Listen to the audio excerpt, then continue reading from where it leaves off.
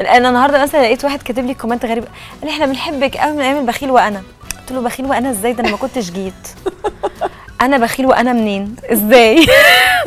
شككني في نفسي فجأة قلت لا ماما أنا كنت اتلخبط بينك وبين مين طيب؟ حنان شوقي مثلا؟ مش ما أعرفش مين اللي كان في البخيل وأنا أنا مش فاكراه أساسا. أنا عارفة فريد شوقي. مين اللي كان في المسلسل؟ ما أعرفش. فلا ف في ناس كمان بتتلخبط. يعني خلاص في ناس متخيلة. يعني في ناس متخيلة إن أنا عاملة فيلم العفاريت مش أنا. يعني مش أنا. يعني يعني كنت صغيرة بس مش أنا برضو. يعني اللي كانت مع عمرو دياب و... آه دي هديل.